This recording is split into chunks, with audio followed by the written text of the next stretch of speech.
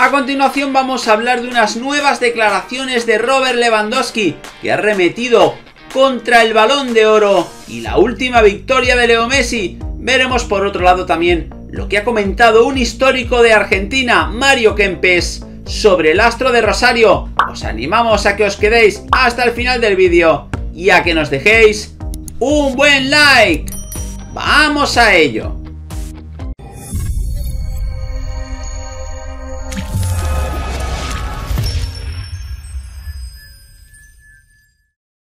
Hola de nuevo gente, ¿cómo estáis? Bienvenidos a un nuevo vídeo de Objetivo Gol. Vamos con la última hora de Leo Messi y sin más dilación, vamos con la primera de ellas y son las palabras de Robert Lewandowski sobre el balón de oro y Leo Messi. No hay duda alguna que Robert Lewandowski se convirtió en uno de los más destacados futbolistas de la actualidad. Sus actuaciones y estadísticas en el Bayern Múnich respaldan tal afirmación, al mismo tiempo que sus recientes competiciones cabeza a cabeza con Lionel Messi. Ambos futbolistas compitieron por el Balón de Oro que otorga la revista francesa France Football y por el premio The Best, distinción que entrega la FIFA. En una entrevista con la revista polaca Pilka Nosna, el killer polaco disparó contundentemente contra el galardón que obtuvo el argentino y tuvo crudas palabras contra la elección de Leo. En primera instancia, vale recordar que la polémica data de tiempo atrás, cuando el goleador del conjunto alemán declaró, ¿por qué Messi no me votó? Pregúntenle a él. Para el balón de oro me votó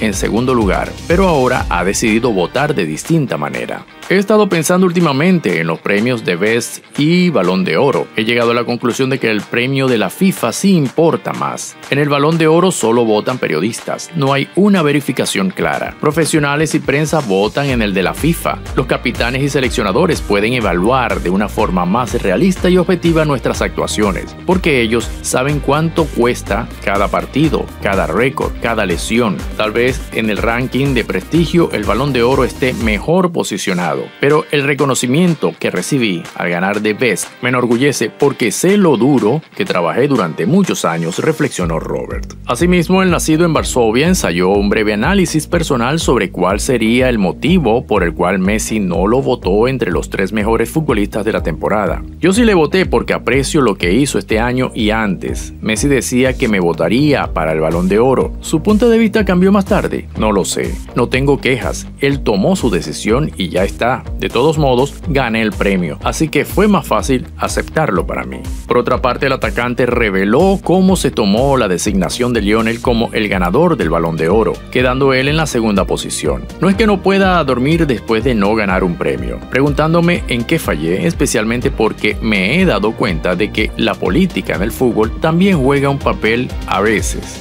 Los resultados de estas votaciones no afectan de ninguna manera en mí. Lo importante es disfrutar del juego y ayudar a mis compañeros a ganar. Además, el centro delantero del equipo Teutón trazó un paralelismo entre el cambio de Messi al Paris Saint-Germain con la vuelta de Cristiano Ronaldo al Manchester United. Para Messi cambiar de club fue sin duda una experiencia mucho más abrumadora. Nunca ha jugado en un país que no sea España. Nunca ha hablado otro idioma. Se encontró con una barrera de comunicación. Cristiano ha cambiado de club y de liga varias veces antes. La edad a la que cambias de equipo no es importante. Las diferentes circunstancias son decisivas. Lionel Messi, capitán de la selección argentina, votó en primer lugar a Neymar, amigo suyo y compañero en el Paris Saint-Germain. En segundo escalón eligió a Kylian Mbappé, la joven estrella del conjunto parisino, y el tercero, Karim Benzema, la figura del Real Madrid. Por su parte, Cristiano Ronaldo, referente de Portugal, votó a Robert Lewandowski primero. N'Golo Kanté, mediocampista del Chelsea y Francia, y Jorginho, campeón de los Champions League en el Chelsea y de la Eurocopa con la selección de Italia. En último lugar, el ganador Robert Lewandowski eligió a Jorginho,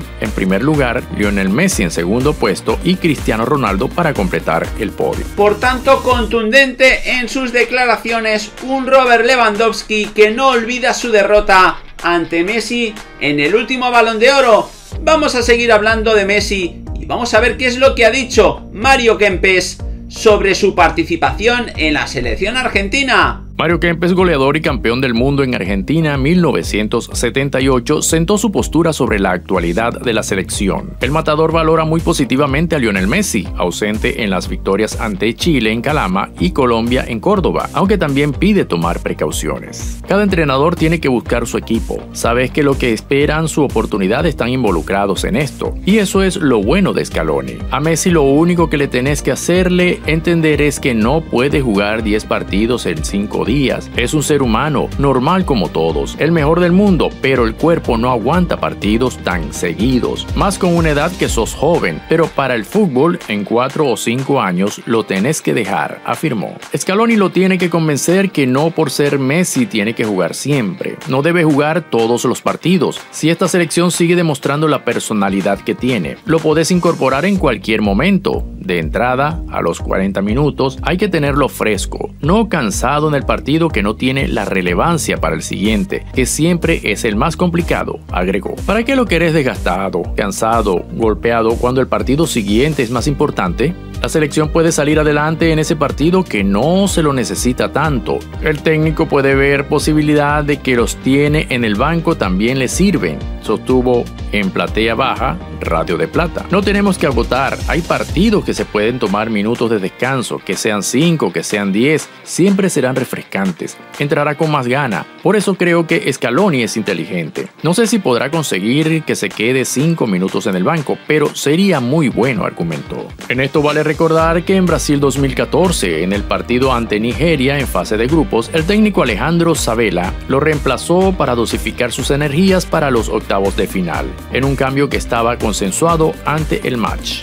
De Argentina me gustó no solo el partido ante Colombia, me gustó mucho ante Chile. Sin Messi es diferente, totalmente, otra forma de encarar los partidos, jugando regularmente bien porque me gusta mucho esta selección, avanza a pasos acelerados para ver si encontramos por fin esa tercera estrellita. Si bien Argentina juega bien, tampoco da un gran espectáculo, cuando no está Messi es otra cosa, y eso es bueno porque la personalidad de los muchachos cuando no está Leo es muy grande, y a Messi se lo busca en las buenas y en las malas, que es lo peor. Y eso llega un momento que es tanta la dependencia que tiene la selección que los contrarios saben a quién tienen que marcar. Y esta selección se la da cuando es necesario, no es por obligación. En comparación a otras selecciones, si me preguntas cuál veo de favorita para el Mundial, te digo que ninguna. La selección se tiene que acostumbrar a jugar sin Messi.